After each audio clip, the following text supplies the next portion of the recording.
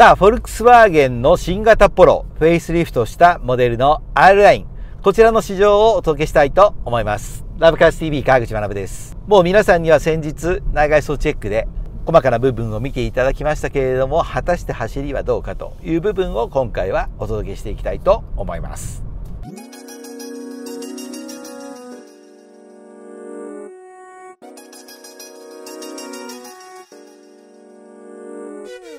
さあフェイスリフトしたポロ。メカニズム的に変わったのは主にエンジンということになります。1リッターの直列3気筒のターボエンジンという部分は変わらないんですけれども今回のエンジンはより高圧縮なものになっているというのがまず特徴ですね。そしてミラーサイクルの燃焼プロセスを採用しているというのもありますしさらにバリアブルターボジオメトリー機構の採用という点が挙げられます。ただしスペックは全く一緒で最大トルクの発生回転数が今まで2000回転からだったものが1600回転になっているというところですね。それ以外のサスペンションとかそういった部分でのアナウンスは特になしということです。で今回 R ラインですので足回りはま引き締まった方のタイプになっていてなおかつ装着タイヤは17インチということになります、まあ、実際に乗ってますけれどもまず最初に感じるところはポロというその小型車においてはある意味クラスのベンチマークともいえる1台ですけれども、まあ、非常にそつない仕上がりがあるなというところを感じますね。動力性能そして快適性能これは主に静粛性とか乗り心地とかいろいろありますけれどもさらにそこに運動性能というところをいろいろこう見ていくと、まあ、いい具合にいい塩梅にバランスしてる1台だなということは感じますね。だから逆に言うとですねそれはザ普通の車というところをですね実現している車ですけれども普通の車っていうとなんか出来が悪いように聞こえちゃいますけれどもやっぱり普通が一番難しいですからそういったですね、まあ、当たり前を当たり前に作り上げているそんな1台というところはありますよね。特にポロの場合は5ドアのハッチバックとしては小さなクラスで、まあ、B セグメントのモデルということになるわけですけれどもその B セグメントの車というと周りのライバルを見渡すと例えば日本車であればトヨタのヤリスとかホンダのフィットとか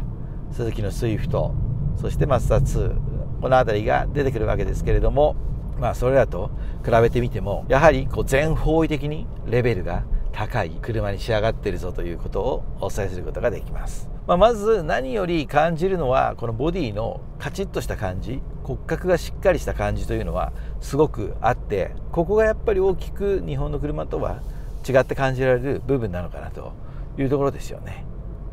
とにかくカチッとしたボディがあるからこそ、まあ、サスペンションもよく動きますし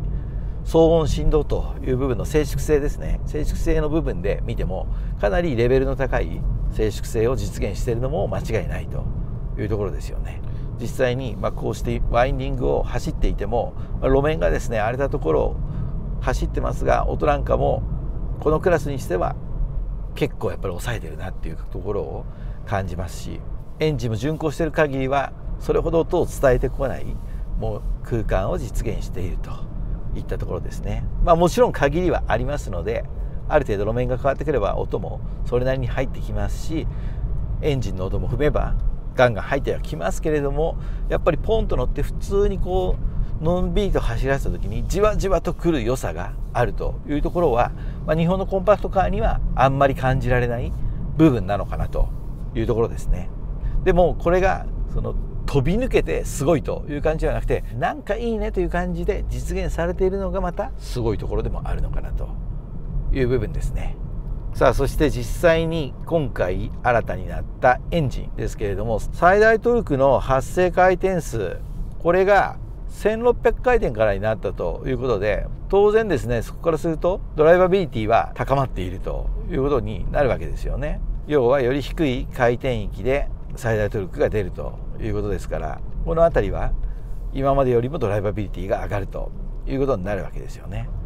ただ実際に走っているとちょっと気になるのは千数百回転で走ってるようなところでアクセルをほんのちょっとこうスッと入れてあげた時の反応というのがわりかし薄い部分があるかなというような気になるところですね。なのでアクセル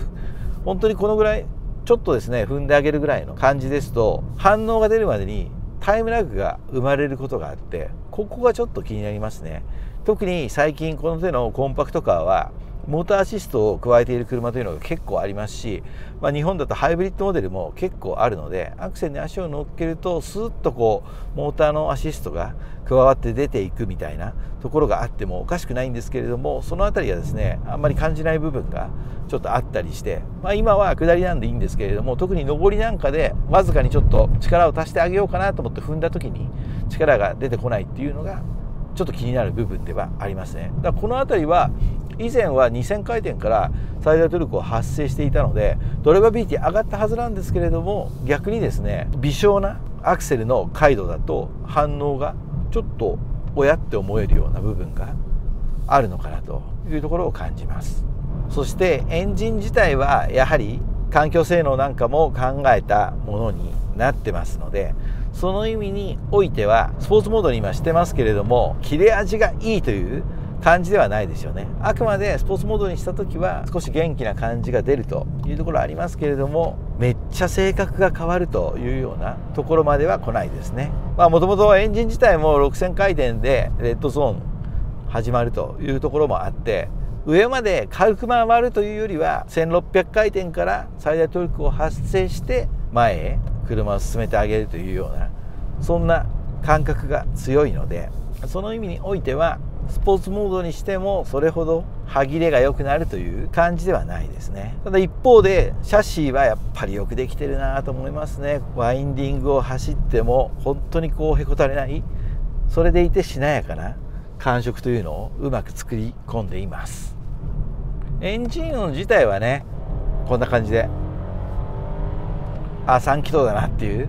ところがありますしアクセル離しても回転の戻り自体はそんなに速い感じではないので、まあ、いわゆる実用エンジンだなっていうところですけれども、まあ、回転を高めてあげればトルクは200ニュートン超えてますのでその分の、まあ、前へ押し出してくれる感触というのはありますよねただやっぱりちょっと元気のいい車を求めてる人だともっとトルク欲しいなっていうところになると思うのでそうなってくるとやっぱり1.5リッターぐらいのエンジンが欲しいよねというふうに感じてしまうのは、まあ、素直な部分だと思います。今ワインディングを走ってきましたけれどもここから郊外の一般道という感じのそんなシチュエーションですけれども今こうワインディングから降りてきて通常の郊外路みたいなところを走っていると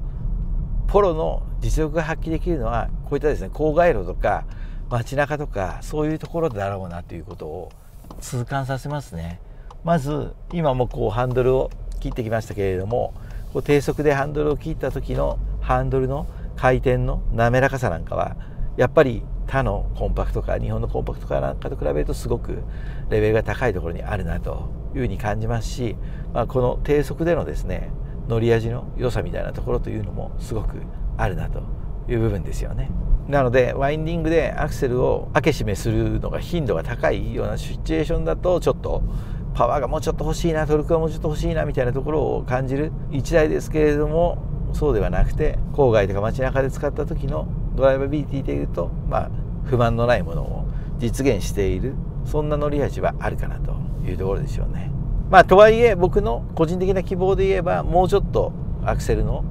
回路に対して本当に最初のところですよね力が出てくれればもっと楽に運転できるんじゃないかなと思えるような部分は若干ありますのでこの辺りは少し気になる部分ではありますよね。それとこうして前の車に追従して低速で走っているような状況だと静粛性もある程度の高いものがしっかりと実現されているなということを感じます。あとはやっぱり今回乗ってるモデルが R ラインなので17インチのタイヤダルミホイールと、サスペンション若干スポーティーなものが採用されていると思うので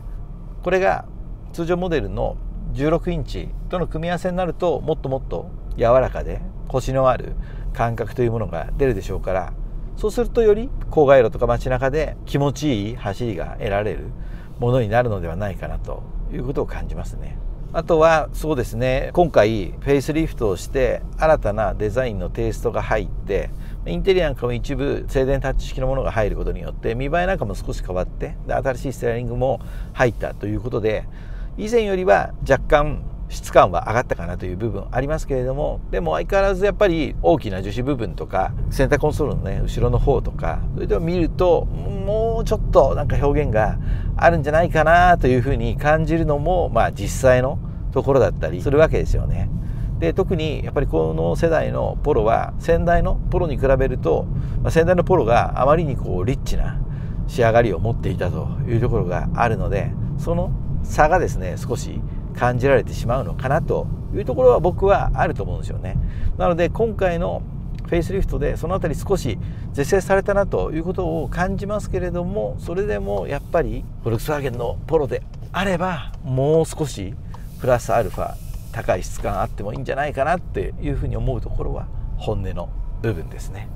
なぜまあそこまで言うかというと今回乗っているこの TSI の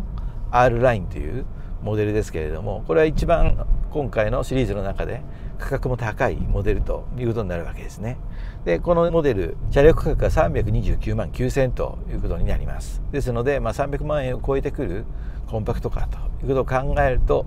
もうちょっとプラスアルファが欲しいなっていうのは本音ですけれども、まあ、最近車の値段もすごく上がってきてますので一概にまあ高すぎるとも言えずですね微妙なところにあのプライシングがあるなっていうのは感じるところですよね。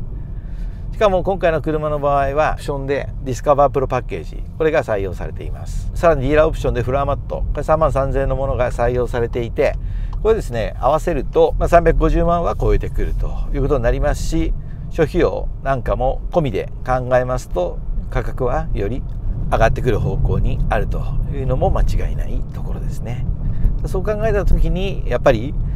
日本のコンパクトカーと違いはですね走らせて大きくありますけれどもその分プライスは1段も2段も上のところにあるのでこの辺りは悩ましい部分ではありますよね、まあ、最も購入される方は日本のコンパクトカーと比べるというよりはですね他の輸入車なんかと比べることが多いでしょうから、ま、その意味においてはポロはバランスの取れた商品だなというのは間違いないところです、まあ、そして相変わらずこのクラスの本当に中央にある、ま、ベンチマークにある1台ということも間違いないところです。